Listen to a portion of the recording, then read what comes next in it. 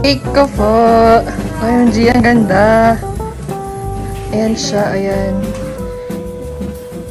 I-ano ko na lang yung kung saan ko binili or in-order. Yan yung cupcakes na 12.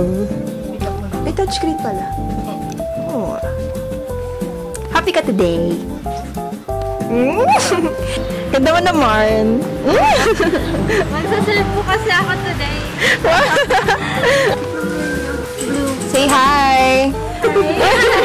Yan ang perks ng alam ng Teacher Dior. Ikaw ah, masyadong akong... Yan po yung ginagawa nila. Happy birthday.